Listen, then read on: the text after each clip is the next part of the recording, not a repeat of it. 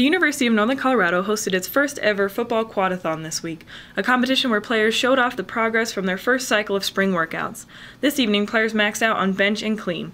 Fans present were able to get a preview of the work being put in in preparation for the upcoming spring season. We've been working for eight weeks, so it shows how we've been training and shows our strength as a, as a unit. For me, you know, I wanted to come out here and prove something to my teammates and to the fans and to the coaches that you know, I can really lead this team.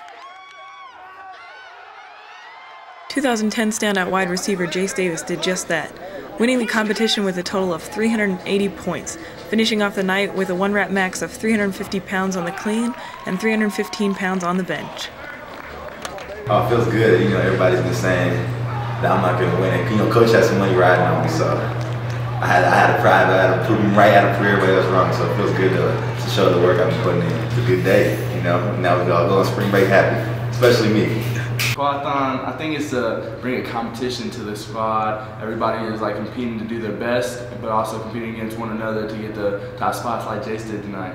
I know I've gotten stronger. I've seen the results when I went out there, and then also it was just 4 o'clock in the morning. I know a lot of people in the um, country aren't doing that, so it didn't work right now.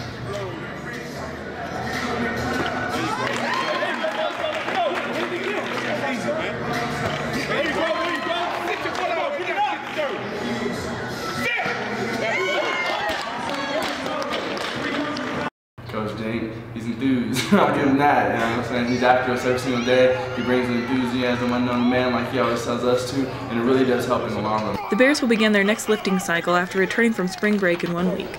The spring football season will kick off the following week, with the first practice being held on Monday, March 26th.